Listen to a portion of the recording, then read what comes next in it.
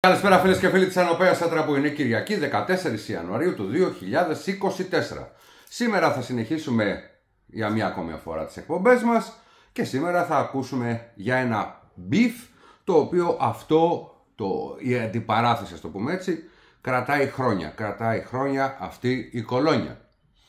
Όσο και αν σας φαίνεται περίεργο, εσείς που λατρεύετε την αρχαία Αίγυπτο, εσείς που λατρεύετε το Μέγα Αλέξανδρο, και εσείς που λατρεύετε όλη την αρχαία ελληνική ιστορία, που τόσες πολλές εκπομπές έχουμε κάνει μέσα από την Ανοπέα Τραπό, σήμερα θα ευχαριστηθείτε πράγμα. ΕΠΑΕ, που λένε και κάτω στην Κρήτη. Λοιπόν, σας έχω πει πάρα πολλές φορές για τις προσπάθειες που κάνουν στην πυραμίδα του Χέοπο. Του Χέοψ. Όπως έχω δει μια εφημερίδα παλιότερα του 1915 να τον αναφέρει ως Χέοψ. Και αυτά τα πράγματα εκεί με την Αίγυπτο είναι λίγο περίεργα. Όπως περίεργα είναι η αναθεώρηση που προσπαθεί να κάνει η κυρία Άρβελερ. Λέγοντας ότι ο τάφος του Μεγάλου Αλεξάνδρου είναι στη Βεργίνα και δεν έχει βρεθεί ο Φίλιππος ο δεύτερος, αλλά έχει βρεθεί ο Αλέξανδρος, ο Μέγας Αλέξανδρος. Θα τα πούμε πάλι, τα έχουμε ξαναπεί, αλλά πρώτα θα ξεκινήσουμε λίγο με αυτό το φοβερό θέμα που γίνεται με ένα μικροσκοπικό ρομπότ το οποίο μπήκε, όπως σας έχω πει, εδώ και περίπου 8-9 μήνες. Η είδηση αναμοχλεύεται σήμερα, αλλά υπάρχουν κάποια κομμάτια και κάποιες καινούριες ε, πληροφορίες. Ε, ενδεικτικά το έχει και το ενικός.gr. Ε, ένα ρομπότ που μπήκε στο θαύμα του Αιγυπτιακού, ας το πούμε έτσι, της Αιγυπτιακής αρχαιολογίας, που δεν είναι άλλο από την περίφημη πυραμίδα του Χέοπα, που είναι στην νεκρόπολη της Γκίζας, μπροστά ακριβώς από την, ε, από την Γκίζα. Είναι η μεγάλη πυραμίδα της Γκίζας. Λοιπόν, εμένα μου αρέσει να λέω τα πράγματα με το όνομά τους και έχω πει παράγματα ότι δύο Γερμανοί πριν από χρόνια, περίπου το 1990, βρήκαν ένα κρυφό δωμάτιο. Έχω κάνει την εκπομπή που έχω βάλει και φωτογραφία την, ε, τη σφίγγα της Γκίζας, όπου πάνω εδώ πέρα μέσα φαίνεται και ε, μια καταπακτή που κατεβαίνουν κάτω και υπάρχει ένα μυστικό δωμάτιο το οποίο συνδέεται με τα λεγόμενα χάλκινα βιβλία, όπως τα λέει και ο κύριος Λιακόπουλος κάποιες στιγμές, με ε, τους σμαραγδένιους πίνακες του, ε, πώς το λένε, του ερμητικού, ε, μάλλον του ερμή, του, ε, του τρισμέγιστου, που μπλέκει λίγο και με την ε, αλχημία.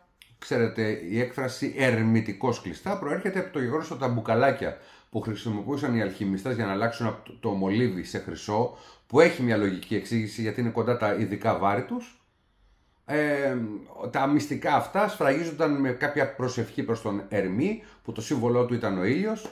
Γι' αυτό και λέγανε ότι αυτά τα μπουκαλάκια ήταν ερμητικώς κλειστά. Δηλαδή πολύ ε, σφιχτά να μην μπαίνει μέσα αέρας και είναι και μυστικά. Λοιπόν χρησιμοποιούν βαρύγδουπους τίτλους αδιανόητα μυστικά και τέτοια πράγματα. Όσοι ακολουθείτε τις εκπομπές μου αυτά έχουν υποθεί εδώ και εκατοντάδες ε, μήνες πριν. 100 μήνε είναι 8 χρόνια έτσι. Οπότε επειδή τα λέω εδώ και 30 χρόνια αυτά τα πράγματα έχουν υποθεί πάρα πολύ καιρό πιο πριν.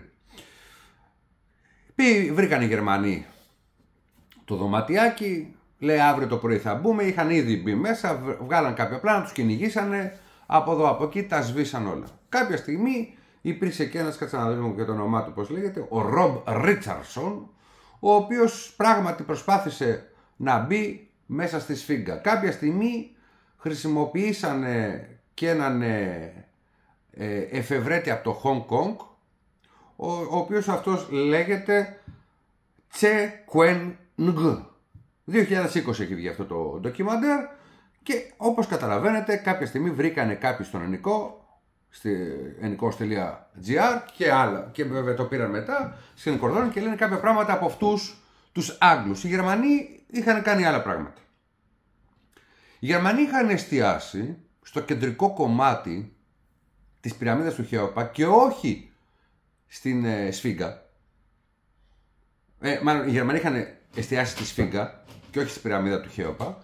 Είχαν κάνει και ψάξιμο μέσα στην πυραμίδα του Χέοπα, αλλά κυρίως θέλανε να δούνε ποιο είναι το πιλωτήριο, το πούμε έτσι, το cockpit αυτού του πράγματος που λέγεται ε, η Σφίγγα η οποία λέγανε ότι λαμψεύσανε πάνω το, το πρόσωπο του Ραμσί.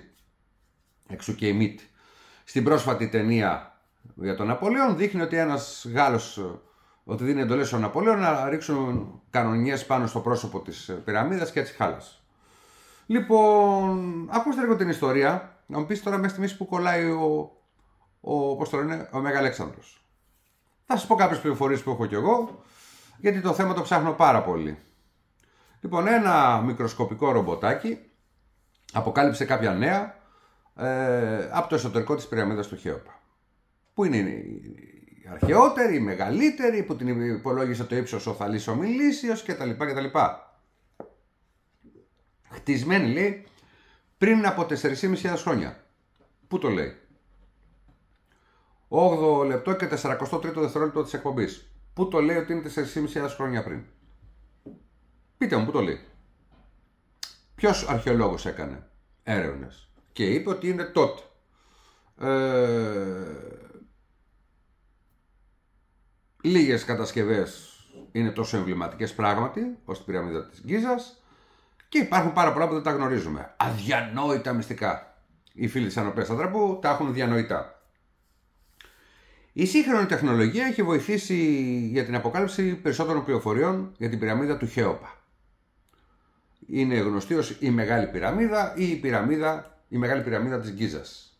Λοιπόν, με ένα ρομπότ που εξερευνά περιοχές της. Ε,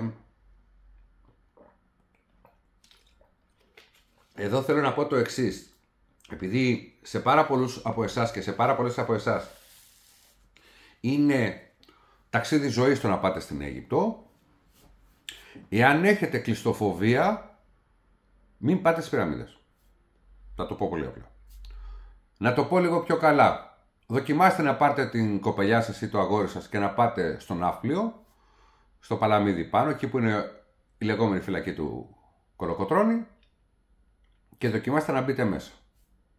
Σας πληροφορώ ότι αυτά τα τούνελ που μέχρι να φτάσουμε σε κάποιο σημείο μέσα στις, ε, στις πυραμίδες είναι περίπου τέτοιων διαστάσεων. Οπότε αν έχετε πρόβλημα γι' αυτό, δηλαδή στη φυλακή του Κολοκοτρώνη, μπορεί να σας πάρουν σέρνοντας ε, από την ε, πυραμίδα του Χέοπα και από τις άλλες πυραμίδες. Οι Γερμανοί ψάξανε και βρήκαν ένα σημείο κάτω που ήταν η πέτρα, γιατί η ιδιαιτερότητα του είναι ότι οι πέτρες η μία με την άλλη είναι το, έτσι σε τέτοιο σημείο που δεν μπορεί να περάσει τίποτα. Δηλαδή δεν περνάει τίποτα. Ούτε μια απλή δοντογλυφίδα, ας το πούμε έτσι, δεν περνάει μέσα. Ούτε ένα μεσοδόντιο, 0,5 ξέρω εγώ. Ε, και βάλανε ένα ρομποτάκι να μπει να, να δει κάποια πράγματα μέσα στην πυραμίδα του Χεοπός. Λοιπόν, εδώ λέμε του Χέοπα, του Χέοπος, δεν κλείνεται, τέλος πάντων, του Χέοψ. Το ρομπότ καταγράφει κάτι πλάνα από ένα στενό φρεάτιο, ανεβαίνοντας υπογωνία 40 εμμυρών στην πυραμίδα. Αυτό το φρεάτιο δεν είχε παρατηρηθεί ποτέ πριν, ήταν κρυμμένο πίσω από έναν ψεύτικο τοίχο στην αίθουσα της βασίλισσας και οι προηγούμενες εξερευνήσεις το είχαν καταστρέψει, οπότε δεν υπάρχει πρόσβαση σε αυτό, στο φρεάτι. Πίσω από τον ψεύτικο τοίχο στην αίθουσα της βασίλισσας. Σας έχω πει ότι όλες οι πυραμίδες αποτελούν μια ενεργειακή πυραμίδα, έξω και το πυρ και αμύς, και σε τις άλλες είναι και ένας λαβύρινθος, με σκοπό να αποτρέψει αυτούς που θέλουν να κλέψουν τις πυραμίδες να φτάσουν εύκολα στο κέντρο της πυραμίδας. Ε, και υπάρχουν πάρα πολλές παγίδες. Βάλτε σημείωση πάνω εδώ, παγίδες. Άρα, βρήκανε έναν ψεύτικο τοίχο πίσω από τη βασίλισσα. Και μόνο αυτό θα έπρεπε να τους αναγκάσει να φέρουν ειδικά εργαλεία μέσα, ειδικά μηχανήματα, με ακτινογραφίες, να δουν πίσω από τον τοίχο τι γίνεται κτλ. κτλ, κτλ. Άρα, οι Γερμανοί ίσως κάναν το ίδιο στη Σφίγγα. Οι Άγγλοι κάναν το ίδιο στην πυραμίδα του Χέοπα. Το 2010 ο Ρομπ Ρίτσαρσον, ο καθηγητής ρομποτικής στο Lynch, ηγήθηκε μιας ομάδας που έστειλε ένα ειδικά κατασκευασμένο ρομπότ για να ερευνήσει το φρεάτιο. Χωρίς να προκαλέσει ζημιά στην πυραμίδα. Ε, μόνο η κατασκευή πήρε 5 χρόνια και ταξίδεψε σε ένα χώρο 20x20. Υπάρχουν και διάφορες φωτογραφίες, διάφορα βίντεο. Ήταν τόσο πολύ ε, ελαφρώ ο σχεδιασμός που έπρεπε στο τέλος να μειωθεί να είναι κάτω από 5 κιλά για να μπορεί να χωράει κάπου. Επίσης ήταν τόσο ελαφρύς, δεν απαιτούσε πολλή ενέργεια. Στο τέλος οι προκλήσεις άρχισαν να γίνονται ευκαιρίες. Αναπτύξαμε ένα σύστημα που μετακινούσε το ρομπότ πολύ απαλά μέσα στο διάδρομο. Αργά-αργά, λέει ο Ρίτσαρσον, που υπάρχει και ένα ειδικό ντοκιμαντέρ. Και αυτό λειτουργήσε με το ρομπότ να έχει επιτυχή πρόσβαση σε αυτή την άγνωστη περιοχή, συλλέγοντας συναρπαστικές πληροφορίες. Στο τέλος του φρεατίου βρισκόταν μια πέτρα και το ρομπότ μπορούσε να στείλει μια κάμερα δίπλα της. Τι σας έχω πει για τους Γερμανούς, πήγανε κάτω από το δωμάτιο που ήταν στο κεφάλι της φίγκα και βρήκαν μια πέτρα και πήγαν από κάτω και μόλις την περάσανε, είδανε σαν βιβλιοθήκη και σαν κόκπιτ. Πού το έχουμε ξαναδεί αυτό, φίλες και φίλοι, μας στην εξερεύνηση, στην ε, εξαφάνιση του ερευνητή. Αλλά αυτό είναι κάτι το οποίο σιγά σιγά θα επαναξυπνήσει, ας το πούμε έτσι. Ο ψεύτικος τείχος ήταν ένα κρυμμένο φρεάτιο διακομισμένο με παράξενα σημάδια και μία πέτρα που μπλοκάρει το τέλος. Τι ήθελε να κρύψουν οι Αιγύπτιοι φίλες και φίλοι; Η κάμερα αποκάλυψε ένα μικρό θάλαμο, το ίδιο ακριβώς σαν την πυραμίδα, σαν την σφίγγα, με περίπλοκα σύμβολα ζωγραφισμένα στο πάτωμα. Μόλις τελειώσει η εκπομπή αυτή, αν έχετε χρόνο, που συνήθως κοιμώστε στις 2-3 η ώρα, πηγαίνετε και δείτε εκεί πέρα μέσα στην εξαφάνιση του ερευνητή το δεύτερο επεισόδιο. Το δεύτερο επεισόδιο. Που λέω για κάτι σύμβολα και κάτι που όπως φαίνεται ακριβώς ένα αντικείμενο ο ερυθρός κότσεφας πάνω στη σελήνη ακριβώς το ίδιο είναι και στη σπηλιά του Υπάρχουν όμως ακόμα λέει και πολλά άλλα άγνωστα. Δεδομένου των έργο τέχνης που είναι πιθανόν το φρεάτιο να εξυπηρετούσε ένα μεγαλύτερο σκοπό από το να λειτουργεί ως αεραγωγός. Αλλά ποιος είναι ο μεγαλύτερος σκοπός παραμένει ένα μυστήριο. Σύμβολα, εδώ, και μυστήριο γιατί το χρησιμοποιούνται. Και υπάρχουν ακόμα πολλά που θα εξερευνηθούν, ιδίως καθώς η τεχνολογία βελτιώνεται. Το ρομπότ βρήκε μια άλλη πέτρα που το εμποδίζει στον δρόμο και δεν μπορούσε να στείλει μια κάμερα πίσω από αυτή. Και είπε ο Ρίτσαρσον ότι το μυστήριο της Μεγάλης Πυραμίδας συνεχίζεται. Το 2020 βγήκε ένα ντοκιμαντέρ σχετικά με τον τίτλο «Το ρομπότ, ο οδοντίατρος και η πυραμίδα». Το όνομα παραπέμπει στον οδοντίατρο αυτό που σας είπα από το Hong Kong, τον Dr. J. Quen NG, ο οποίος είχε την αρχική ιδέα να κατασκευαστεί και να σταλεί μέσα στην πυραμίδα το συγκεκριμένο ρομπότ. Και κάπου εκεί τελειώνει όλη η φάση. Λοιπόν, σας έχω πει μέχρι στιγμής ότι σήμερα θα μιλήσουμε για την αρχαία Αίγυπτο, για τις τεχνολογίες, για το ένα, για το άλλο. Πάει 4.500 χρόνια μας λένε, από εδώ, από εκεί. Φίλες και φίλοι, ας ξεκινήσουμε πρώτα με τα σύμβολα. Οι πυραμίδες είναι ταφικά μνημεία, ένα, ενεργειακή κόμβη και σημεία επικοινωνίας με κάποιους άλλους πολιτισμούς. Εγώ οφείλω να πω ότι είναι με πιθανόν εξωγήινες διαστάσεις. Έτσι, αρχαίους εξωγήινους αρχαιοναύτες, ας το πούμε έτσι. Λένε κάπου τα 4.500 χρόνια. Εάν κάνουν, αν εμφανίσουν τα αποτελέσματα για τον άνθρακα, νομίζω ότι θα βρείτε κτίσματα τα οποία είναι περίπου στο 11.500 με 12.000 π.Χ. 14.000 χρόνια πριν. Και γιατί είναι στο 12, στα 12.000, γιατί αφενός μεν η κατασκευή των τριών πυραμίδων στην νεκρόπολη της ε, Γκίζας μαζί με την Σφίγγα είναι ακριβώς η αποτύπωση του αστερισμού του Σύριου όπως ήταν περίπου στο 11.500 με 12.000 π.Χ. 14.000 χρόνια πριν. Ο πλανήτης που ζούμε αυτή τη στιγμή έχει επανακινήσει μετά τους παγετώνες πριν από 25.000 χρόνια. Δεν βάζουμε τώρα 2.000 χρόνια, ε, πώς το λένε, μετά Χριστόν και 23.000. Είναι στο 23.000 π.Χ. κάπου και 25.000 χρόνια. Λοιπόν, φανταστείτε τώρα το εξής. Υπάρχει, ας το πούμε έτσι, αυτό φίλες και φίλοι, το οποίο είναι στο πάνω μέρος η πυραμίδα, κάτω είναι ταφικό μνημείο, και σε ένα κάθετο, δεν ξέρω αν το διακρίνετε λίγο το, το σωληνάκι, το σωληνάκι που υπάρχει μέσα, το σωληνάκι που υπάρχει μέσα, έτσι. Καθαριστικό για τα, για τα γυαλιά είναι, δεν είναι αυτό. Λοιπόν, υπάρχει ένα φρεάτιο. Ε, παραπλήσιο ακριβώς είναι ο τρόπος που οι Γερμανοί είπαν ότι πώς θα μπούμε στο κεφάλι της φίγκας και όταν το έμαθε ο γνωστός ο αρχαιολόγος, ε, Αιγυπτιολόγος που πήγε να γίνει και μετά το Μουμπάρακ ο πρόεδρος της ε, Αιγύπτου, το, τους έδιωξε μπάρα μπάρα σε κλάσμα το δευτερολέπτου. Λοιπόν, άρα βλέπουμε κάποια σύμβολα. Τα σύμβολα αυτά, φίλες και φίλοι, φτιαχτήκανε και μετά μπήκε από πάνω το κάλυμα. Φτιαχτήκανε και μετά μπήκε το κάλυμα. Φτιαχτήκαν, μπήκε το κάλυμα. Και υπάρχει ένα φρεάτιο. Γιατί χρειάζεται το φρεάτι. Υποτίθεται ότι ο, ο βασιλιάς, ο Φαραώ, μπαίνει στη μέση της πυραμίδας, βγαίνοντας σπάνε συγκεκριμένες κρίνες, φεύγει η άμμος και κατεβαίνουν σιγά σιγά οι πέτρες, οι οποίες κλείνουν γύρω γύρω το ταυτικό μνημείο και έτσι απομονώνεται από παντού ο Φαραώ για να ξεκινήσει το ταξίδι του στον κάτω κόσμο. Σας έχω πει ότι υπάρχουν περιπτώσεις στις οποίες λέγανε ότι και οι σκλάβοι πεθάνουν μέσα εκεί. Το λέγανε. Η βασίλισσα πεθαίνει μαζί του κτλ.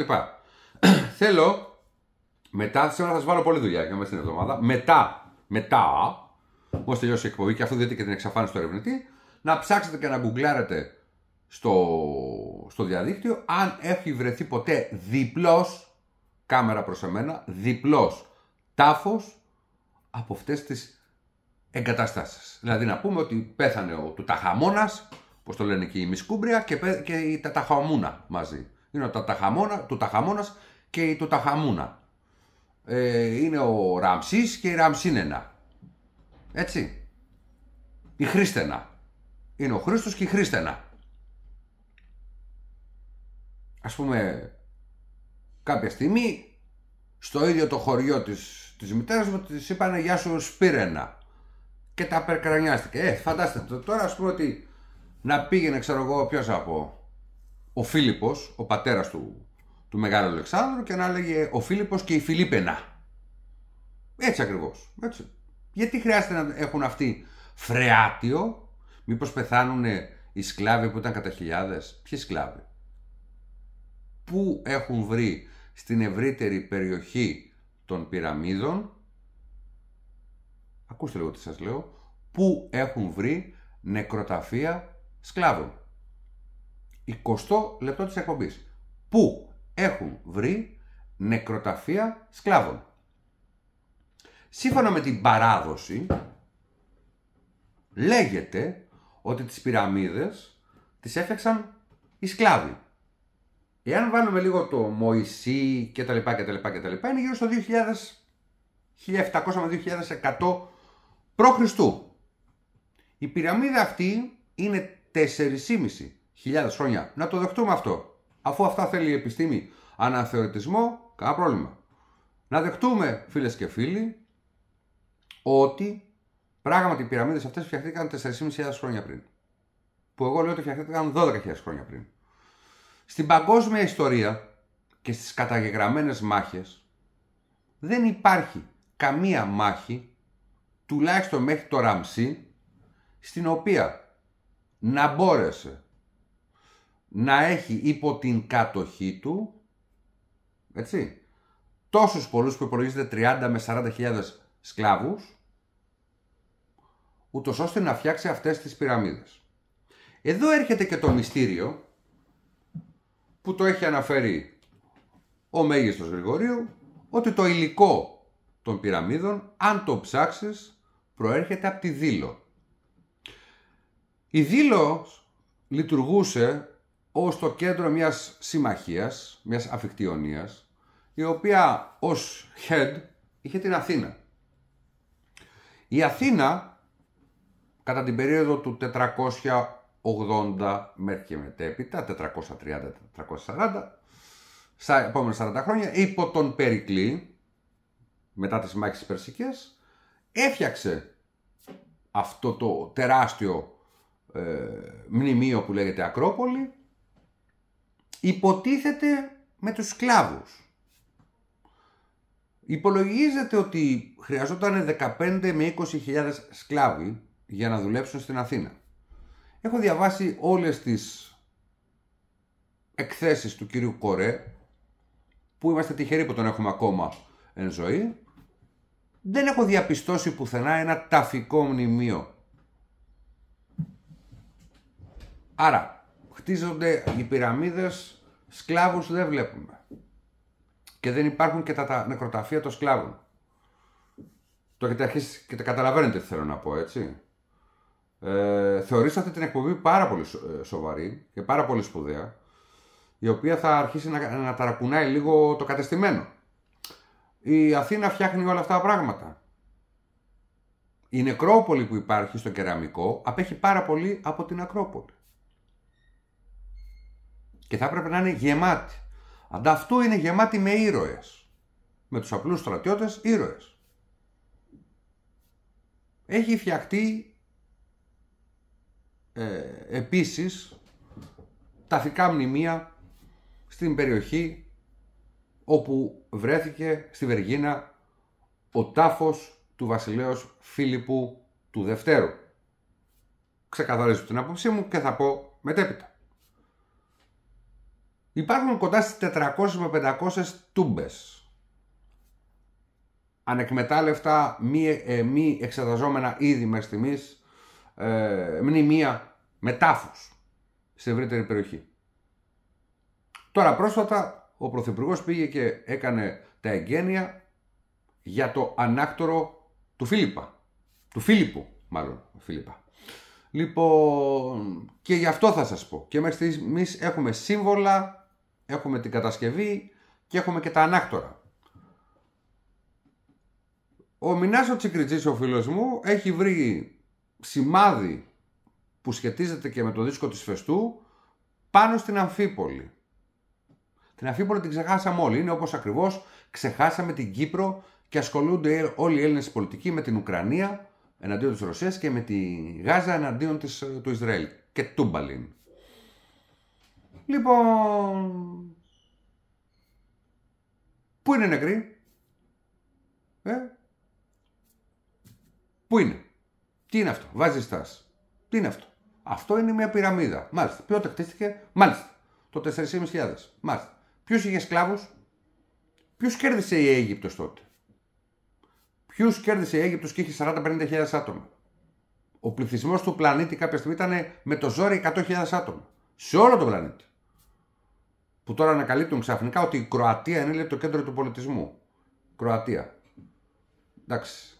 Χαρβάτσα. Γραβάτα. Είναι χραβάτα.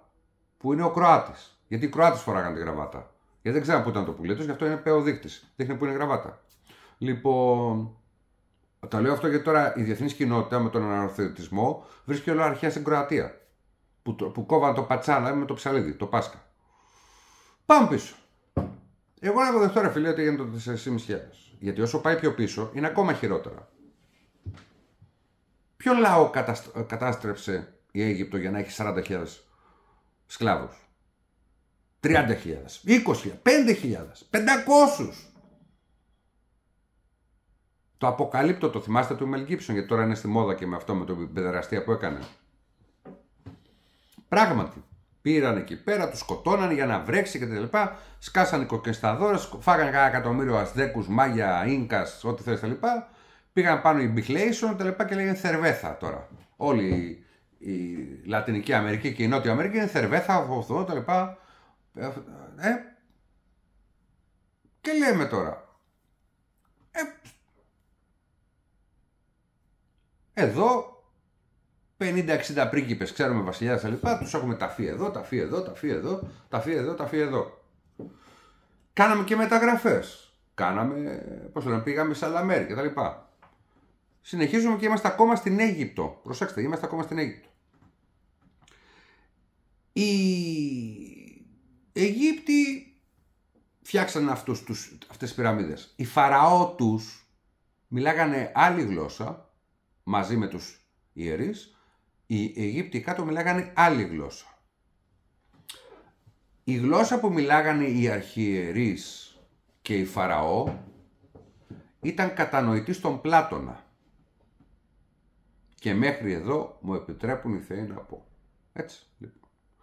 Ε, ο οποίος Πλάτωνας συνομιλούσε, πέρα και από τον Σοκράτη και αυτά και τα λοιπά, και ο Σοκράτης αλλά και ο Πλάτωνας, συνομιλούσε απευθείας με τους αρχιερείς και του λένε ένα σου δείξω αυτό, ένα σου δείξω αυτό. Ο Πλάτονα, από ό,τι θυμάμαι, λίγο θα χαρτολογήσω και την υπόθεση, δεν έχει πάει στα αγγλικά βασιλάκι που πήγαινα εγώ στην Νέα πριν από τον προηγούμενο αιώνα. Έτσι. Δεν πήγε στα στα Αιγυπτιακά βασιλάκι, πάμε χάρη, στα Αιγυπτιακά κασταμονιτάκι. Άρα προφανώς ο Πλάτωνας πρέπει να μιλούσε 28 λεπτό της εκπομπής, 1, 2, 3, μπαμ, ελληνικά. Τι μιλάγανε οι αρχιερείς, 1, 2, 3, μπαμ, ελληνικά. Άρα η κάστα που είχε την περίεργη αυτή γνώση, που φτιάχνει τα, τους ψεύτικους τείχους, τα φρεάτια, το ένα, το άλλο, πατατή, πατατά, πατατό. Πίσω το Σουδάν έχει χιλιάδες πυραμίδες, περισσότερες από την Αίγυπτο. Έχουμε και εμείς πυραμίδες, το έχω κάνει την εκπομπή, υπάρχει στο Brighton και, και, και τα λοιπά, που ο κύριος Μπενιζέλος, ο Τσίτς, απογορεύει και την, αρχαιο, ε, την, ε, την έβριση της, ε, της ηλικίας μέσω του, των σύγχρονων τεχνικών. Άρα ρε παιδί μου όλοι αυτοί οι εξπέρ μιλάγαν ελληνικά. Να εικάσω, πάμε τώρα να το τρελάνουμε, να εικάσω ότι και οι αρχαίοι αστροναύτες, Έρικ Φοντάινικεν και τα λοιπά και έτσι ομιλούν οι θεοί, μιλάγανε ελληνικά; Διότι μια φυλή εκεί κάτω στην Αφρική, στη Μέση Αφρική, Ντόγκον, Ντούγκαν, Ντάγκαν, Ντόγκαν τα λοιπά, έχουν, όλοι ξέρουν και τις προφορές, εκεί που νομίζω ότι είναι στην Καμπόνα ανήκει, ε, ξέρανε και είπαν αυτά τα πράγματα και βγήκαν και τα περίφημα βιβλία από πού προέρχονται οι θεοί και τα λοιπά και αυτοί λέγανε κάβυρα, κάβυρα. Κάβυρα και είναι τα, η κάβυρος, δηλαδή η λίμνος. Στη Λίμνο από ό,τι θυμάμαι τουρκικά δεν μιλάνε και τα παλιάρχια χρόνια όταν γεννήθηκε και η Ολυμπιάς, η οποία Ολυμπιάς ε, ήταν εκεί αρχιερέας, στα Καβύρια Μυστήρια, στη Λίμνο και στη Σαμοθράκη, αλλά ήταν από τους Μολοσσούς και η Μολοσσή είναι η πρώτη που μπαίνει η έκφραση απειρωτάν, η Ήπειρος δηλαδή είναι απειρωτάν, το α έγινε ήτα. Άρα είναι σαν την ε, τουρίστρια που έρχεται ζαλισμένη και σου λέει «Γεια σου μαλάκα, τι κάνεις» τα λοιπά, αλλά ελληνικά ξέρει. Άρα η αρχαία γνώση διαχέεται παντού μέσω των ελληνικών. Τώρα, γιατί οι Αιγύπτιοι είχαν τα συμβολικά, γιατί μας λέει βρήκαμε σύμβολα στο πάτωμα. Δηλαδή εσείς βρήκατε σύμβολα στο πάτωμα, αλλά τα έχετε λύσει όλα τα σύμβολα που υπάρχουν μέσα. Παιδιά, επειδή έχω πάει, ε, παθαίνει σόκο, έτσι. Δηλαδή είναι εκατομμύρια σύμβολα. Έτσι. Άρα τι μας λες, ότι σε ένα κρυφό δωμάτιο υπάρχουν οδηγίες χρήσεως, αλλά είναι σύμβολα. Θα το δεχτώ. Λοιπόν, μία από τις μεγαλύτερες επιτυχίες που έχω κάνει στη μέχρι στιγμής προσφορά μου στην ελληνική αναζήτηση είναι το περίφημο παλίμστιστο του Αρχιμίδη, που είναι μια γνωστή ιστορία, όπου πέραν το πάπυρο, το ξύνανε και γράφανε από πάνω. Ε, έτσι ακριβώς γινόταν και στους τοίχους, όταν ένας φαραώ ήταν κακός, λέγανε ποιος ήταν προηγουμένως από σένα, ο Χρήστος ο τέταρτος σκίστονε και υπήρχε η σφραγίδα και τα σβήναν παντού. Στο Τουταχαμών σχεδόν είχε πέσει σβήσιμο, να μην υπάρχει πουθενά. Όταν βρέθηκε ο τάφος, καταλάβαμε ένα σύμβολο ότι ήταν ο Τουταχαμών. Του Ταχαπέκ, όπω το λένε στα Αιγυπτιακά. Λοιπόν, άρα πάμε να το πούμε έτσι πάλι. Αφού πρώτα δεν ξέρουμε ποιος λαός είναι σκλάβος και πιθανόν υπάρχει μια τεχνολογία που έφτιαξε διάφορα κτίρια και διάφορα μνημεία ανά τον κόσμο και ίσως φτιάχτηκε και κάπως έτσι η Ακρόπολη την οποία τώρα τη μαγάρισαν. Ευτυχώς αφαιρέσανε το προστατευτικό από το Άλεξη Κέραυνο στην, στην ε, Ακρόπολη, αλλά τώρα κάτι έχετε κάνει μέσα στις στις ε, κολόνες και περνάνε τα πουλιά από πάνω. Κάποιοι θα πούνε δεν ισχύει, γιατί το λέει ένας πρώην αναρκαλευτή του ελληνικού στρατού, ένας στατιστικολόγος να ο οποίος δεν έχει καμία σχέση με την ιστορία, και ένας ε, συγγραφέας βιογραφικών, ας πούμε, αρχαίων φιλοσόφων κτλ. κτλ. Και η τύπησα που λέει ότι ο Κασταμονίτης είναι αυτοαναφερόμενος, λέει, ως ερευνητής UFO. Είμαι και τσανακογλύφης, βάζω ε, γλύπτης, βάζω ε, πέταλα σε μύγες και επίσης να με διηλίζον το κόνοπα και καταπίνων τα σκαμήλας, όπως λέει και η αρχαία, ε, μάλλον η παλαιά, στην παλαιά διαθήκη, μάλλον στην, στην καινή διαθήκη. Λοιπόν, γιατί όλο αυτό το μπουρου μπουρου μπουρου το λοιπά, διότι πολύ απλά φίλες και φίλοι, το μόνο που πρέπει να καταλάβετε εσείς είναι ότι υπάρχουν σύμβολα, άρα οδηγίες, GPS σε ένα παγκόσμιο χάρτη, που είναι αυτοί που έχουν έρθει. Σβήστε τα σύμβολα.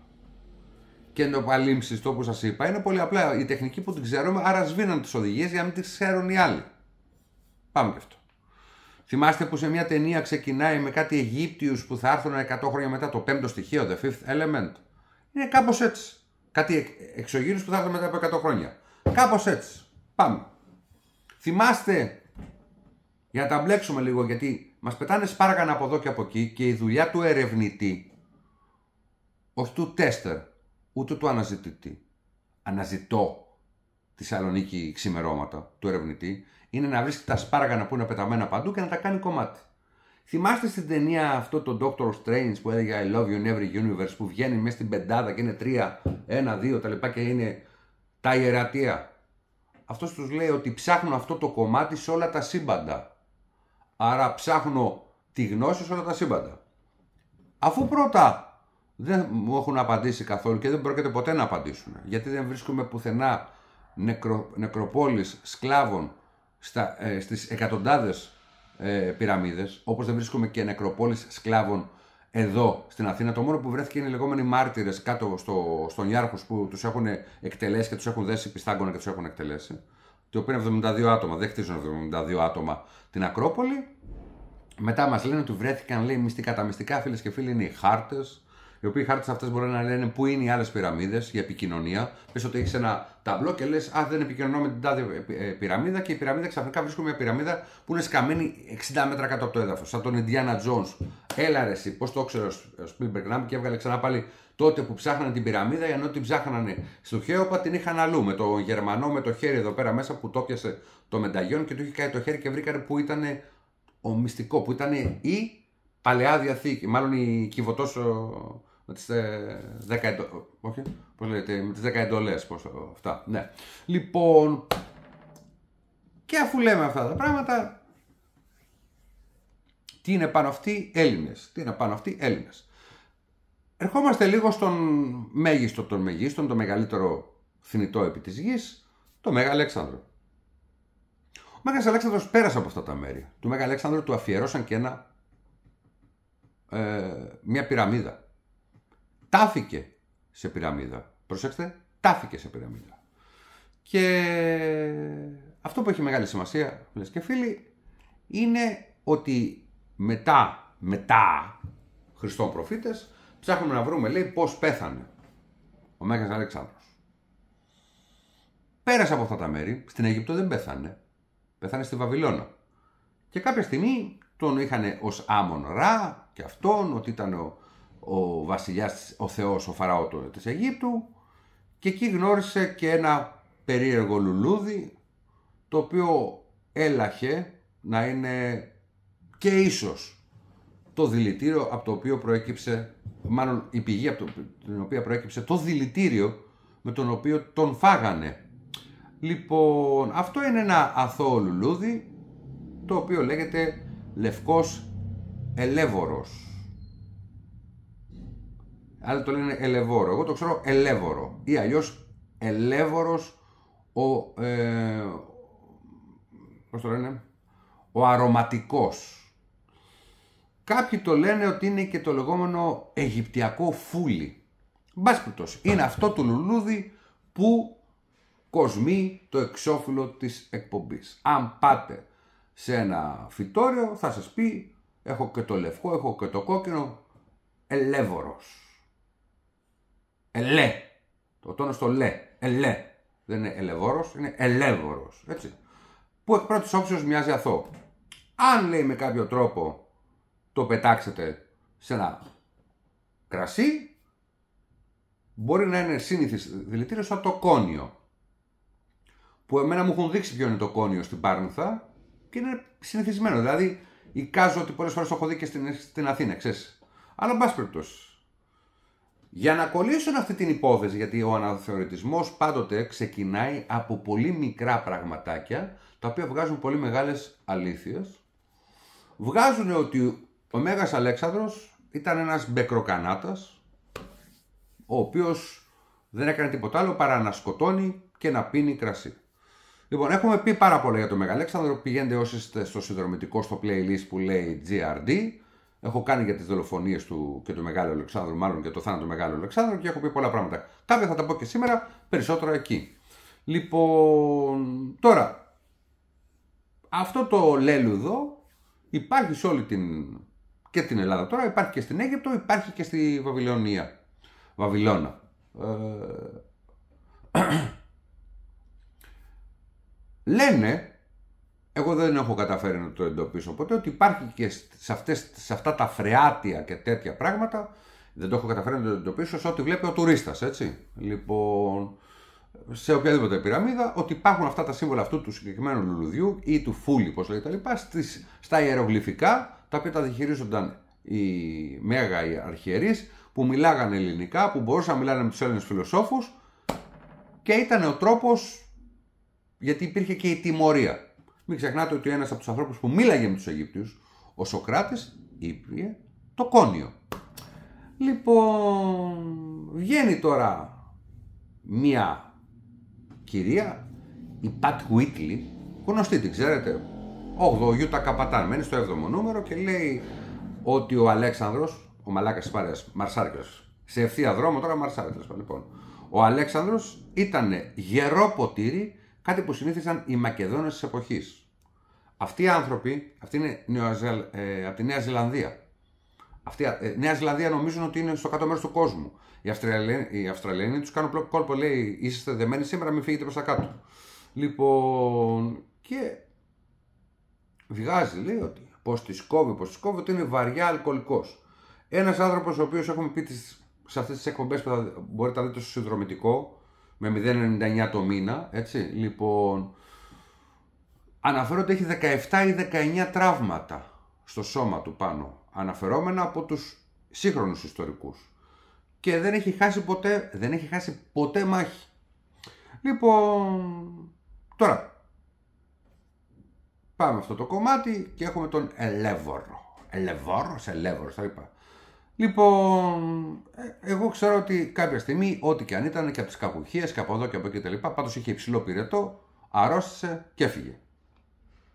Πάμε λοιπόν να δούμε πώς συνδέονται όλα αυτά γιατί τα πεδία γραφής γι' αυτό σας λέω πάλι κολλάνε όλα και το, ακόμα και το παλίμψητο που σας λέω το παλίμψητο είναι παίρνανε το, το πάπυρο, το ξύνανε γιατί ήταν πολύ ακριβό υλικό το ξύνανε και γράφανε από πάνω άλλα. Τι είναι αυτό το Ευαγγέλιο; Α, πάρ το σβήστο, ας πούμε, ξέρω, και γράψε κάτι άλλο από πάνω. Και έτσι πάρθηκε το περί μηχανικής, όπως έχω εξηγήσει το άρθρο κτλ. που είναι η μηχανογράφηση, μάλλον η κρυπτογράφηση των Windows, γιατί το πήρε ο Bill Gates και το χάσε ο Chips Chips με, τότε με το 1.800.000 δολάρια. Που ήταν δικό μας ε, στα Ιεροσόλυμα και το πήρε ένας Βούλγαρος και το πήγε στην Αμερική. Και αντί να μας το γυρίσουν πίσω οι προδότες του Smithsonian και όλο αυτό, μας το βγάλε στη δημοκρασία και το πήρε ο Bill Gates. Λοιπόν, ε, Ουγάρ έρχεται το γύρας μόνο κτλ. Εν πάση περιπτώσει, ευελπιστώ ότι στα 97, κάπου εκεί θα την κάνω κι εγώ, θα έχω ακέρωτο μυαλό και δεν θα λέω βλακίες. Έτσι, παραδείγματος χάρη ότι θυμάστε πριν από 47 χρόνια. Ε, ναι. Προβατάρχη ήμουν, ξέρω που με λένε οι άλλοι κτλ. Λοιπόν, υπάρχει ένας αρχαιολόγος, ο Μανώλης Ανδρώνικος. Επειδή γράφουν κάποιοι, αυτοί κάποιοι είναι γεννημένοι το 1991,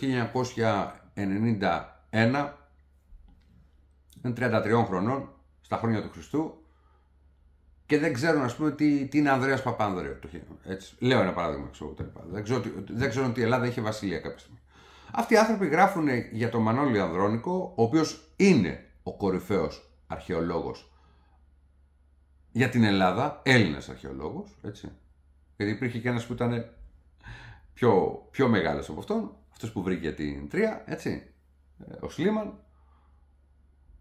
Και ο Μανώλης ο Ανδρώνικος μέχρι να βρει τον τάφο του Φίλιππου, του Φίλιππου, είναι ένας απλός αρχαιολόγος. Είναι Αύγουστος του 1977. Μάλλον αρχές Σεπτεμβρίου.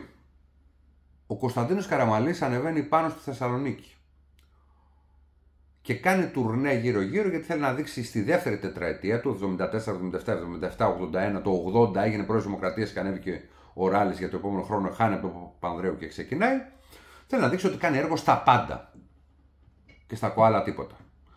Λοιπόν, τον πάνε εκεί στην, ε, στη Βεργίνα όπου γίνεται 500 άτομα μπορεί να δουλεύανε. Και το στρατό είχαν βάλει και ψάχνανε διάφορα γιατί είχαν τάφους.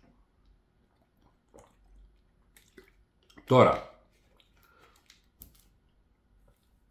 συνομιλεί με τον Μανώλη Ανδρώνικο και του δίνει μια κάρτα και του λέει αυτή είναι η προσωπική μου κάρτα, αυτό είναι το προσωπικό μου τηλέφωνο. 24 ώρες το 24ωρο, αν γίνει κάτι και βρεις κάτι θα με πάρεις τηλέφωνο. 8 Νοεμβρίου, λίγο πιο πριν έχει βρεθεί, αλλά ο Μανώλης Ανδρώνικος 8 Νοεμβρίου του 1977 ανακοινώνει ότι βρήκε τον ασύλλητο τάφο του βασιλιά Φίλιππου του Δευτέρου της Μακεδονίας, του πατέρα του Μεγάλου Αλεξάνδρου. Λοιπόν, άρα είναι ακριβώς 3, 80, 47 χρόνια πριν από σήμερα. Η κυρία Ρεβελέρ τότε είναι 50 χρονών και είναι απλώς στη Γαλλία, νομίζω είναι η περίοδος που είναι και πριν ήταν Σορβόνης, η οποία χαιρετίζει με άρθρο της την έβρεση του τάφου του βασιλιά Φίλιππου του Δευτέρου της Μακεδονίας. Για να φτάσει σε αυτό το περιστατικό και να πει ο, ο Μανώλης Αδρόνικος ότι βρήκε αυτά τα πράγματα, πέρασε διαπυρός και διασυδήρου. Είναι γνωστή αφήγηση. Κύριε Μανώλη κάτι βρήκαμε που γυαλίζει, κατέβηκε με το σκηνή, το είδε, τρελάθηκε, έβγαλε τα λουλουδάκια, σήκωσε, είδε σκόνη μέσα που ήταν ουσιαστικά τα καμένα οστά και τα λοιπά, τα πιασε, συνειδητοποίησε ότι έχει του Φίλιππου του Δευτέρου τα οστά και τη σκόνη στα χέρια, το γράφει στα απομνημονεύματά του. Γιατί δεν τα διαβάζουν αυτά, γιατί τον διαβάλουν τον άνθρωπο 47 χρόνια μετά, γιατί τώρα είναι νεκρός, δεν μπορεί να πει τίποτα. Και μάλιστα λέει ότι πιστεύω ακράδαντα ότι είναι ο νεκρός, τάφος, ε, ο νεκρός του τάφου της Βεργίνας, είναι ο Φίλιππος ο δεύτερος, ο πατέρας του Μεγάλου Αλεξάνδρου.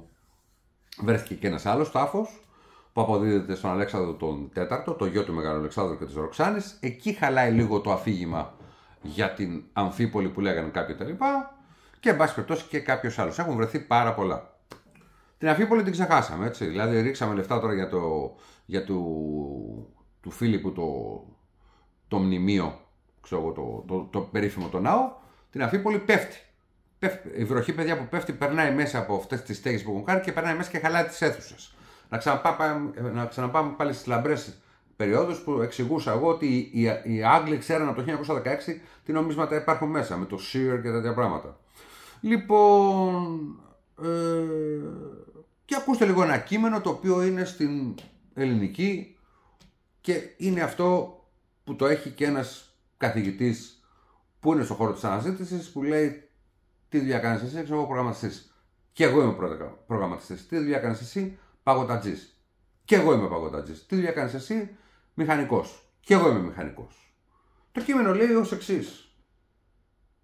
Ότι η Ελένη Γλίκατζε, Γλίκατζη, Γλίκατζη Αρβελέρ, παρότι δεν είναι αρχαιολόγος, καληνύχτα σας, να είστε καλά, καλό βράδυ, καλή τύχη, χρειάζεται τίποτα άλλο; Χρειάζεται τίποτα άλλο; Να γράψω εγώ δηλαδή για, για τη σχάση των πυρηνικών ε, καυσίμων στο Τσέρνομπιλ; Πάμε πάλι. Η Ελένη Γλίκατζη Αρβελέρ Παρότι δεν είναι αρχαιολόγος, καληνύχτα σας, να είστε καλά.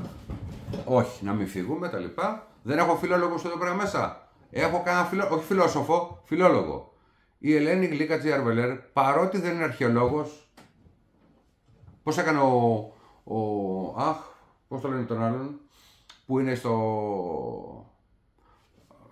Αχ, πώς λέγεται σε βλακέτο, Pulp Fiction, έτσι, που κάνει έτσι, ο Τραβόλτα και κάνει έτσι, με το, με το παλτό και αυτό και αυτό. Αφισβητώντας λέει τα συμπεράσματα του Μανώλη Ανδρώνικου, αλλά και τις υπάρχουσες ιστορικές και αρχαιολογικές πηγές που δείχνουν πως ο τάφος του Μεγάλου Αλεξάνδρου βρίσκεται στην Αλεξάνδρεια της Αιγύπτου, επιμένει να υποστηρίζει ότι τα οστά που βρίσκονται μέσα στην ολόκληρη Λάρνακα της Βεργίνας, που φέρει το, στο καπάκι της στον ανάγλυφο μακεδονικό ε, αστέρι με τις 12 ακτίνες, ότι είναι του Μεγάλου Αλεξάνδρου. Λοιπόν, λέει τώρα ότι ως επιχειρήματα αναφέρει το ελέφαντος στήνο ομοίωμα του Αλεξάνδρου που έχει βρεθεί. Έχει, έχει πάρθει δηλαδή αυτό το πράγμα, την επιθυμία του Μεγάλου Αλεξάνδρου να ταφεί στον τόπο του, το ύψος του νεκρού που φιλοξενεί ο τάφος, το οποίο σύμφωνα με την ίδια ταιριάζει περισσότερο με αυτό του Αλεξάνδρου, την παράσταση ζωοφόρου που δείχνει μια δράση η οποία για να αποτυπωθεί έπρεπε προηγουμένως να έχει συμβεί, το χρονικό κενό από την ταφή στο σημείο που ξέρουμε μέχρι να κατασκευαστεί το μαυσολείο και η έβρεση στον τάφο της Βεργίνας Χουντίτη ορυκτού της Αιγύπτου. Και αφού λένε αυτά τα πράγματα, ο μόνος που το έχει πει λέει αυτό είναι ο κύριος ο συνταξιούχος αντιστράτηγος και ιστορικός ερευνητής Τριαντάφυλλος Παπαζόης στο βιβλίο του Ο Μεγάλος ε, Αλέξανδρος με την οικογένειά του είναι θαμένη στους βασιλικούς τάφους της Βεργίνας, το οποίο ολοκληρώθηκε λίγο πριν από το θάνατό του το 2011. Σε αυτό αναφέρεται ότι στον επίμαχο τάφο επανατάφησαν μετά το 254 π.Χ. από τον Αντίγονο Γονατά ο Μέγας Αλέξανδρος με τη Βασίλισσα Ροξάνη και στον ίδιο τάφο ο 12χρονος γιος τους Αλέξανδρος ο τέταρτος.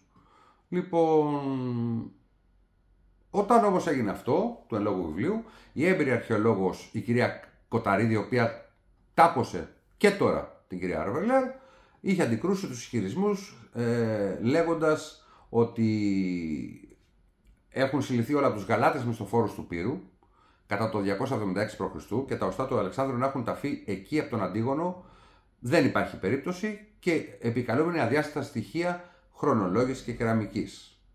Σύμφωνα με τις υπάρχουσες πηγές, μετά τον τάφο του, ο Μέγας Αλέξανδρος εκφράστηκαν διαφορετικές απόψεις κτλ. κτλ, κτλ. Τώρα, το ταριχευμένο σώμα του Αλεξάνδρου τάφηκε αρχικά στη Μέμφυδα, όπως αναφέρει ο Παυσανίας. Εντάξει, παιδιά, είναι πολύ εύκολο να πούμε ότι ο Παυσανία είναι ένας βλάκας. Ένας μπαρουφολόγο.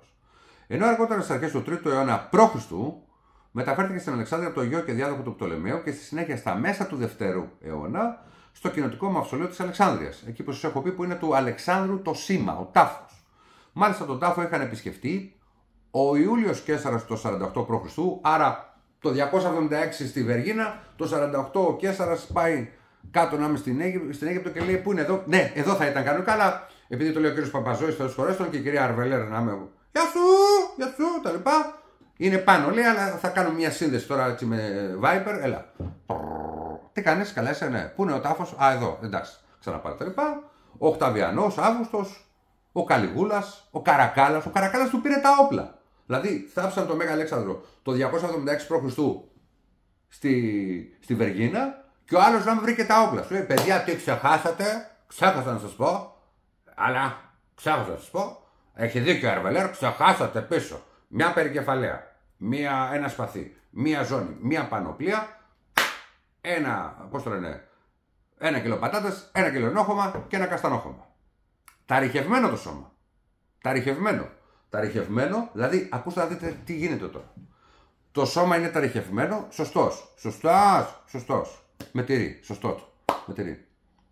Αλλά έχει τη φαϊνή ιδέα, ο γονατάς και αυτά, σύμφωνα με, με αυτούς, όχι με τον Γονατά, μην το κάνουμε και τον άνθρωπο μαλάκα, να κάψει το ταριχευμένο, δηλαδή κάτσανε ώρες τώρα οι Αιγύπτιοι, όπα, να που συνδέεται η πυραμίδα και τα σύμβολα και τα μυστικά τα ταφικά, να κάτσουν οι Αιγύπτιοι να κάνουν ταρίχευση, αλλά ο άλλος μετά, πως μου κόβει, τον βάζει και τον γκέι και τον κάνει χωάνι, χώμα. Το βλέπει ο Ανδρώνικος, δεν ήξερε ο Ανδρώνικος, είπε ότι είναι λέει ο Φίλιππος ο δεύτερος. Κάποια στιγμή, επειδή όλοι λένε και τις, πούμε και εμείς ακίες με τα λοιπά, κάποια στιγμή πετάγονται από το 48 π.Χ. με τον Κέσσαρα που τον φάγανε από εδώ τα λοιπά, ο Αβιανός Καρακάλας, 191 συλλύεται όλη και καταλαμβάνεται όλη η Ελλάδα με την περίφημη μάχη ε, νομίζω είναι στη Μακεδονία όπου οι, οι ρωμαϊκές δυνάμεις κερδίζουν τις μακεδονικές δυνάμεις και καταλαμβάνουν όλη την Ελλάδα έτσι, και αφού αυτοί είχαν πληροφορίε, εδώ οι Γερμανοί μπήκαν μέσα στην Πάτρα. Αυτό είναι πραγματική ιστορία, έτσι. Μπήκαν μέσα στην Πάτρα και Γερμανός αξιωματικός πήγε στο ταχυδρομείο της Πάτρας, κατέβηκε στα υπόγεια και πήγε και πήρε 500 Ολυμπιακές σειρές το 1896, οι πρώτες Ολυμπιακές σειρές που υπάρχουν στον κόσμο, είναι δικές μας ελληνικές, η οποία τώρα αυτή τη στιγμή ασφράγιστη κάνει κοντά στις 4 με 5 χιλιάδες, μπορεί και περισσότερο. Και πήγε Γερμανός αξιωματικός, καυλωμένο, έφυγε από το Μόναχο, μπήκε μέσα, πήγανε στην Πάτρα και πήγε στο ταχυδρομείο και πήρε 5 φύλλα. Το ήξερε ότι υπάρχουν τα φύλλα αυτά. Και ο Αθεόφοβος θα γύρισε και σφράγιζε από πίσω Γερμανία. Με γερμανικές φραγίδες. Δηλαδή τα σακάτεψε, αλλά κοινώ αυτοί ξέραν τα πάντα. Και μπαίνουν οι Ρωμαίοι στην Ελλάδα και ξέρουμε εμείς ότι. Πού υπάρχει αναφορά ότι είναι ο τάφος του Μεγάλου Αλεξάνδρου και πέρα πουθενά. Και 500 σελίδες ο άλλος. Τι είναι αυτό, ρε. Τα βρίσκεται αυτά. Τσαταή, γράψουν 500 σελίδες να με πώς να γράψω μια παπαρία και να την πιστέψουν όλοι. Και γυρνάνε και λένε, ξέρετε κάτι; Δεν πάμε να πάρουμε το Μέγα Αλέξανδρο. Δηλαδή, ο Μέγας Αλέξανδρος πουλάγε μούρι, πουλάει μούρι ακόμα και τώρα. Φαντάζεσαι τότε να είχα πάει στη Ρώμη το Μέγα Αλέξανδρο. Βέβαια, υπάρχει και μια θεωρία που λέει ο Άγιος Μάρκος στη Βενετία ότι είναι ο Μέγας Αλέξανδρος. Αλλά αυτό είναι κάτι άλλο. Φεύγουμε αρχίζουμε και μπαίνουμε στη 200 μετά Χριστόν, έτσι. Όλοι κάνουν αυτό το περίφημο βήμα, επειδή το έχω πει εγώ, έτσι. Ναι, έχω και την έπαρση. Μην τα ξεχνάτε αυτά τα πράγματα. Εγώ παίρνω ένα χαπάκι το πρωί, ένα χαπάκι το βράδυ για την έπαρση, έτσι δεν Και λένε ότι ο ιστορικός Λέων Αφρικανός ανέφερε πως είχε δει τον τάφο του Μεγάλου Αλεξάνδρου το 1491. Εγώ θα σας πω κάτι άλλο, γιατί πάλι εκεί πέρα μου λένε κάποια, όχι το 300 λέει το ξαναπήγανε πάνω και είναι η Αμφίπολη από εδώ από εκεί. Μετά Χριστόν. Μετά, μετά. Λοιπόν, πώς μπορούσαν να βρουν πού στο καλό είναι ο τάφος του Μεγάλου Αλεξάνδρου, γιατί τον κρύψαν από εδώ κτλ. Σε μυστικούς χάρτες, σύμβολα, στο πάτωμα, ο, σε περιορισμένες συγκεκριμένες θέσεις. Δηλαδή στα μνημεία τα οποία τα φυλάγανε σε ποιο βάλανε ρομποτάκι και βρήκανε χάρτες που είναι οι άλλες πυραμίδες και χάρτες που είναι αυτά τα λοιπά, μα την περίφημη πυραμίδα του Χέοπα ή στο κεφάλι της Φίγκας. Να πώ συνδέεται το ένα πράγμα με το άλλο.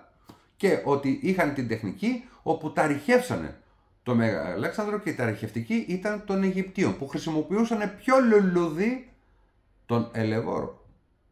Αυτό που είναι στο εξώφυλλο της εκπομπής. Διότι αυτός πέρα από το δηλητήριο κτλ. κάνει τη στυπνότητα. Δηλαδή σταματάει να, μην, να μαζεύονται τα υγρά. Αυτό είναι η ταρήχευση. Λοιπόν, ο περιηγητής George Sandwich το 1611 του παρουσίασαν ένα μνήμα το οποίο τιμούταν ως τόπος ανάπαυσης του Αλεξάνδρου. Μέχρι στιγμή δεν σα έχω πει το διάκαινο εκεί πέρα. Το φοβερότερο πράγμα από όλα είναι με τον Έλληνα που είδε στις κατασκευές που κάνανε στο περίφημο μπλε τζαμί ή τον τάφο του Δαβίδ που του φύγε το εργαλείο και πήγε κάτω στο υπόγειο και βρήκε τον τάφο και από τότε εξαφανιζόλ. Αλλά θυμάστε που σας έχω πει την ιστορία με τον Σισόη που υπάρχει αυτή η φωτογραφία παντού που έχει ανοίξει τον τάφο, βλέπει οστά, κόκαλα και δέρματα λοιπά και λέει «Ω Θεέ μου, ο τέτοιο κάλος και τέτοια ρώμη και τέτοια δύναμη, πώς είναι δυνατόν να βρίσκονται εδώ πέρα μέσα». Να θυμίσω στην κυρία Άρβελερ ότι έχει βρεθεί τετράδραχμο των Αθηνών Αφού δεν είναι αρχαιολόγος, ας κάτσει να τα διαβάσεις. Τετράδραχμο των Αθηνών στην Ιαπωνία. Τετράδραχμο των Αθηνών σε συναλλαγή με νομίσματα βρέθηκε στην Ιαπωνία. Βρέθηκαν ρωμαϊκά νομίσματα στη μη κατακτημένη Αγγλία, πέμπτη ε, εξαφανισμένη φάλαγγα κτλ. Ρωμαϊκά νομίσματα. Τότε το διεθνές νόμισμα ήταν το τετράδραχμο, μετέπειτα ήταν, ξέρω εγώ, ε, το, το χρυσό νόμισμα της Ρώμης, μετά ήταν το, το, το Βυζαντινό, όπως λέμε, το Κωνσταντινάτο και τα λοιπά και το καθεξής. Άρα, τι μου λέτε τώρα εμένα, εάν κάποιος ήθελε να κάνει μια αφιέρωση για το Μέγα Αλέξανδρο και δεν μπορούσε να πάει στην Αίγυπτο γιατί τότε τα ταξίδια δεν είναι μπαίνω στην Egypt Air και φτάνω τα λοιπά. Και πήγε εκεί πέρα που ήταν ο τάφος του Φιλίππου και άφησε μέσα και για τον επίγονό του για το γιο του ένα συγκεκριμένο κομμάτι. Τώρα μας λέει ότι βρέθηκε λέει, ο Χουντίτης, ε, ο οποίος λέει αυτός ο Χουντίτης λέει είναι ε, ο ρηχτό της Αιγύπτου. Θα ήθελα να σας πω το εξής το λάπης λάζουλη ή λαζούλη, όπως το λένε λοιπά, είναι φαρσί ανάλογα πώς το λέτε. Αυτή η περίφημη αυτή μπλε, γαλαζό μπλε, κάπως έτσι μοιάζει το, το χρώμα. Ε, αν θέλετε να μάθετε σε όλα τα αρχαία ευρήματα που βρίσκεται, Ό,τι είναι μπλε που είναι σαν σμάλτο είναι λάπης λάζουλη. Το λάπης λάζουλη κυρίως βγαίνει στην Περσία. Δηλαδή, αν βρούμε στην Πορτογαλία ένα πιάτο που έχει προκύψει από ανταλλαγές κτλ., σημαίνει ότι κανονικά ο Σάκης της Περσίας πρέπει να είναι θαμένο έξω από το γήπεδο της Μπενφίκα ή της Πόρτο, ξέρω εγώ, κάτι τέτοιο. Δηλαδή, ο αστυνομικός είναι μπουζούκι. Ε, ο αστυνομικός είναι όργανο. Το μπουζούκι είναι όργανο, άρα ο αστυνομικός είναι μπουζούκι. Αυτές οι λογικές. Και βγαίνουν και βιβλία. Δηλαδή, η κυρία Αρβελέρη, η οποία κάνει ανεθωρητισμό, βγάζει και βιβλίο που λέει Πού είναι θαμένο. Πώς το λέει το βιβλίο, κάτσε να δεις. Πού είναι θαμένο ο Μέγα Αλέξανδρος, ο Μέγας Αλέξανδρος των Βυζαντινών, που είναι θαμένο ο Μέγας Αλέξανδρος, σου λέει ευκαιρία είναι τώρα. Χωριά τα ρε, πουλάμε βιβλία 97 κτλ. Και ανατρέφει και του το έπαλε το Μανώλη του Ανδρώνικου. Τι να σου πει. Τι να σου πει. Επαναλαμβάνω. Η Ελένη Γλίκα Τζιαρβελέρ, παρότι δεν είναι αρχαιολόγος, να το, το σταματήσω εδώ. Άστα, συνεχίσουμε. Λοιπόν, προσέξτε τώρα. Όλα ξεκινάνε από αυτό το ρομποτάκι. Το ρομποτάκι αυτό που πήγε από κάτω, το πρώτο που πήγε στη σφίγγα βρήκε κάποια πράγματα τα κρύψανε, αλλά μετέπειτα έχουν βρει πάρα πολλές πυραμίδες. Σκάβουν 200 χρόνια, αλλά πυραμίδες βρίσκουν και τώρα ξαφνικά πάνε στο Χέοπα και ξαφνικά βρίσκουν γύρω-γύρω πυραμίδες. Όχι μόνο αυτό, αρχίζουν και ψάχνουν στην Αλεξάνδρεια που είναι ο τάφος του Μεγάλου Αλεξάνδρου. Αλλά εκεί δεν μπορούν να πάνε κάτω στο τσάμι γιατί είναι χαλιοτσό, αρκαντάν, χαντάν, μπενιστή. Θα παίξει μαχαιράκι. Λοιπόν, και εμείς αντί έτσι να πούμε ρε παιδιά, έχουμε τον Φίλιππο. Γιατί μηδαμινή ποσότητα είναι ο Φίλιππος, να το καταλάβω δηλαδή. Εδώ δεν ξέρουμε που είναι, ξέρουμε που είναι θαμένο στο Θεμιστοκλής και δεν το λέμε. Εδώ το σήμα των Θεών το τσιμεντώσαμε για να περνάει το ηλεκτρικός. Τα ξεχάσαμε αυτά στο βωμό των Θεών και τα λοιπά που βγαίνανε αρχαίο οι 12 θεϊστές και βλέπανε εμένα δίπλα και βγάζαν φλίχτενες και λέγανε τι κάνεις εδώ πέρα μέσα. Δεν θα υποστηρίξω εγώ την, την ιστορία της πατρίδας μου επειδή αυτοί είναι 12 θεϊστές. Λοιπόν, τέλος πάντων. Και πάμε αυτά τα πράγματα και βρίσκουν. Έχετε ακούσει εσείς ότι ένας οδοντίατρο ένας οδοντίατρος από το Hong Kong βρήκε τον τρόπο για το ρομπότ και πήγε ο Ρίτσαρdsον από το Leeds και βρήκε αυτά τα πράγματα, τίποτα. Ντομάτα λαγκαδά ντοματοπελτέ και μόνο από τον Κασταμονίτη τα ακούτε αυτά τα πράγματα. Κάτσα κάνω λίγο και την πραμάτια μου, έτσι. Λοιπόν, και καθόμαστε εδώ πέρα μέσα και έχουμε τον κάθε παπάρα που λέει το εξής: Με τι γνώσεις σχολιάζεται περισσότερο εδώ πέρα μέσα, λόγω ανωνυμίας, πάρει ρεζίλ γινόμαστε. Ρεζίλ γίνεται αυτή που ήταν και πρώην ε, πρίτανη της Ορβόνη. Κάποιοι εδώ πέρα μέσα που μου επικαλείστε και στα σχόλια Αμήν και ο Θεός, γιατί ο Θεός, δηλαδή τι, τι θα κάνει ο Θεός; Επειδή η Αρβελέρα στα 97 της άρχισε να γράφει βιβλία, σε λίγο θα μας πει να ότι και η Κέρκερα Ράμε είναι κάτω από τη Μάλτα, ξέρω εγώ, κάτι τέτοια πράγματα. Η Μελιτίνη είναι η Μάλτα, άσχετο. Λοιπόν, και λέμε αυτά τα πράγματα, βγαίνει και ο Άγιος Προφύριο. Ο Άγιος Προφύριο, όσο ζούσε, έλεγε ότι είναι σαν μια εκκλησία. Και ξέρω πάρα πολύ καλό κόσμο που λέει ότι αυτή είναι η εκκλησία. Αυτή η εκκλησία πήγαν τη σακατέψανε. Σκάψαν υποτίθεται λοιπά, δεν βρήκαν τίποτα. Ωραία. Λεφτά για την εκκλησία να τη κάψουν που ίσως βγάλαν κάποια πράγματα, μια χαρά. Την Αφίπολη γιατί δεν τη φτιάχνουν. Την Αφίπολη γιατί δεν τη φτιάχνουν. Γιατί δεν μας δείχνουν τίποτα. Τώρα λέει ανά 5-5 άτομα, τόσο έτσι είναι και στην Αίγυπτο. Την Αφίπολη. Εκεί είναι ασύλληπτο ο τάφος, είναι συλλημένο ο τάφος. Τι μας πήρανε, μας πήραν το Μέγα Αλέξανδρο; Σκεφτείτε μόνο αυτό το χιομοριστικό που σας είπα ότι από... τον πήρανε από εκεί που πέθανε και τον πήγανε κοντά στα 650 χιλιόμετρα με την άμαξ, αυτή την περίφημη που έσαιρνε αυτό το πράγμα που ήταν σε που ήταν 40 τόνοι, που ήταν σε ιαλή. Η άλλη Νονατσάλη χρησιμοποίησε ο Μέγας Αλέξανδρος για να κλείσει τα ρηπαρά έθνη και τώρα κάποιοι αυτοί το μεταφράζουν ότι είναι η έρπος σκιά. Έτσι λοιπόν, μία ώρα και ένα λεπτό της εκπομπής. Και. Τι να πω, τέλος πάντων. Και τον πήγε χίλια χιλιόμετρα άθικτο και ξαφνικά μόλις του κόβει του γονατά, του κάτσε του ρίξω μια φωτιά εδώ πέρα μέσα να το συρρυκνώσω λίγο. Αγάπη μου συρρυκνώσα τα παιδιά. Ε, δεν μας λένε τίποτα. Οι Αιγύπτιοι είναι κρυφοί. Αυτά που θα εμφανιστούν, αν ποτέ βγουν και από τους Γερμανούς και από τον Ρίτσαρσον τα λοιπά, θα αναδείξουν το μεγαλείο της Ελλάδας. Και εμείς έχουμε τη φυλή το Μενδόνη, η Μενδόνη, η Τσιμεντόνη, η Κοσιόνη, η Παπαρόνη και αυτά τα λοιπά, η οποία πέρα από αυτά που έχει πάνω στην Ακρόπολη τα λοιπά, δεν υποστηρίζει αφήνουμε να μιλήσει η Αρβελέρ και να πει πράγματα που είναι μπαρούφες.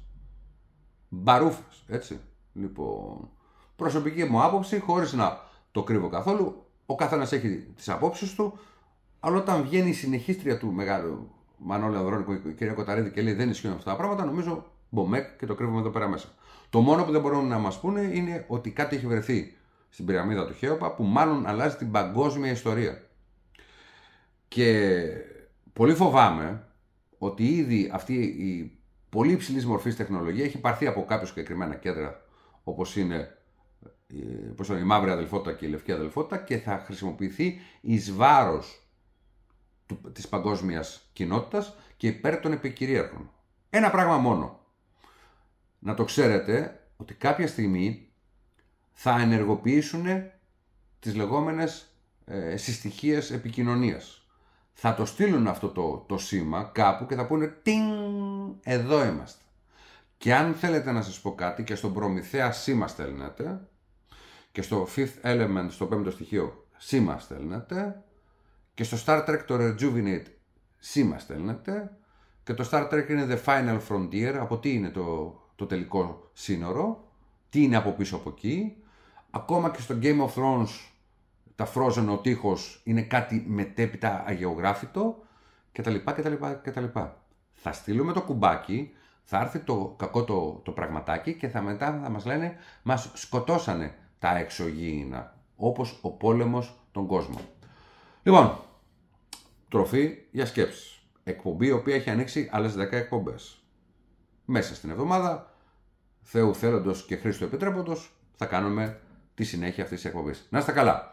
Καλό βράδυ, καλή τύχη. Αν σας άρεσε η εκπομπή, κάντε ένα like, αν είστε καινούργοι στο κανάλι, κάντε μια εγγραφή στη γωνία κάτω, εδώ σε αυτό το σημείο εδώ πέρα περίπου, υπάρχει μια φωτογραφία μου. Μόλις το περάσει από πάνω, το πατήσεις, γίνεσαι μέλος. Δωρεάν.